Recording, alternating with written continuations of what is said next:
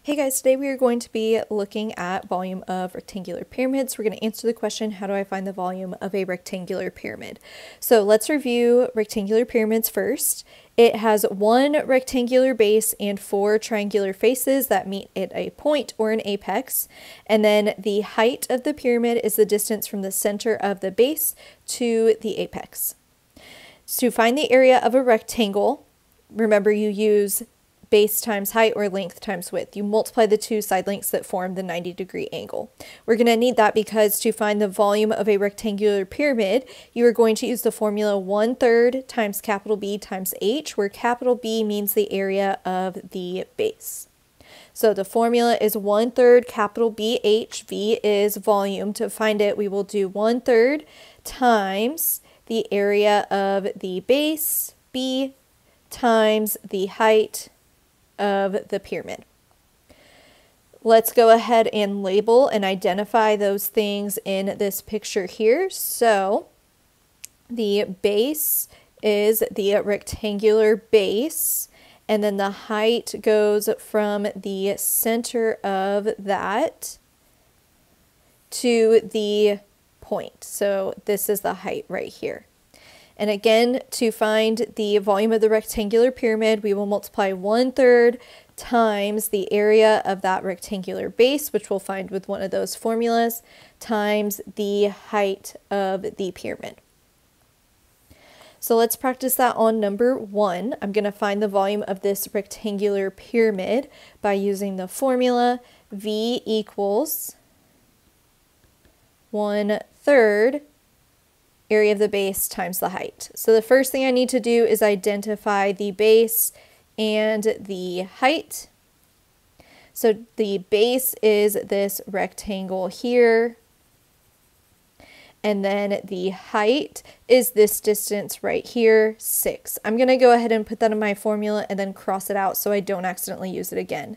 Now I need to find the area of this rectangle. So I'm just going to do 2 times 4 to find capital B, the area of the base. So capital B, the area of the base, is 8.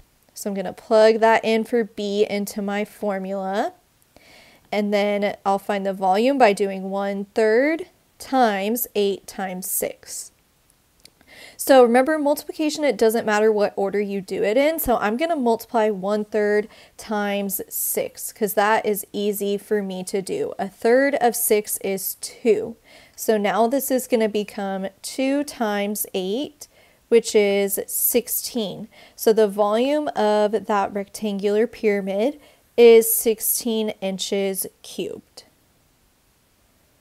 Okay, number two, we're going to do the same thing. I'm going to find the volume by doing one third times the area of the base times the height. So let's find capital B, the area of the base.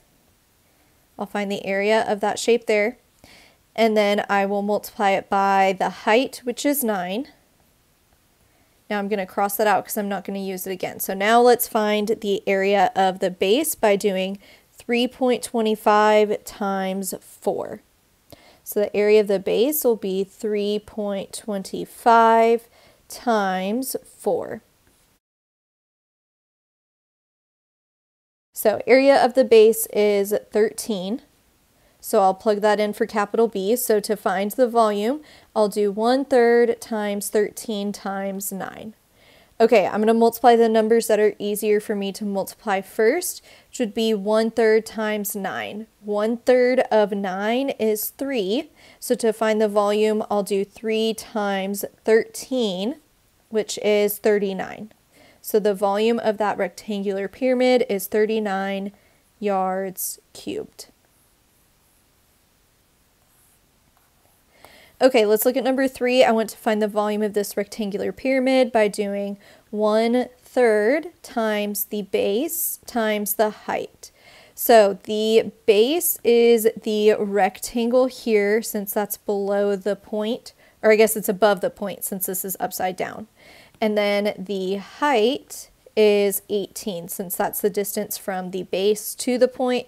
So I'm going to write it down for my formula and then cross it out so I don't accidentally use it again. Now I just need to find capital B, the area of the base, by doing 12 times 6. And 12 times 6 is 72. So I'm going to plug that in for B into my formula. And now I'm ready to find the volume. I'll just do 1 third times 72 times 18. Again, I'm going to number multiply the numbers that are easy for me. 1 third times 18. I know that that is going to be 6. A third of 18 is 6. So I just need to do 72 times 6 to find the volume of that pyramid. And I get that the volume of this rectangular pyramid is 432 feet cubed. Okay, number four says the rectangular pyramid shown has a height of 7.5 meters. So if you wanted to draw in the height, you could. It is 7.5 meters. What is the volume of the pyramid? So the formula for volume of a pyramid is one third times the area of the base, capital B, times the height. They told me that the height is 7.5 and the base is this rectangle here. So now I just need to find the area of that by doing 5 times 4. So to find capital B area of the base, I'll do 5 times 4, which is 20. So to find the volume, I'll do 1 third times 20, which was the area of the base, times 7.5.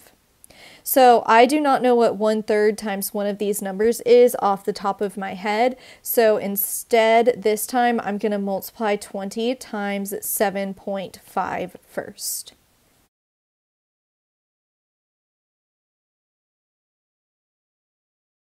And I get that 20 times 7.5 is 150. So now I just need to do 1 third times 150 to find the volume, and a third of 150 is 50. So the volume of this rectangular pyramid is 50 meters cubed. Okay, number five says the volume of a rectangular pyramid is 70 centimeters cubed. The area of the base is 30 centimeters squared. What is the height of the rectangular prism? So they gave us the volume, they gave us the area of the base, which is capital B, and they are wanting us to find the height this time. So let's write out the formula V equals 1 third BH and then let's organize the information that they gave us. They told us that the volume is 70. That's what I highlighted in purple.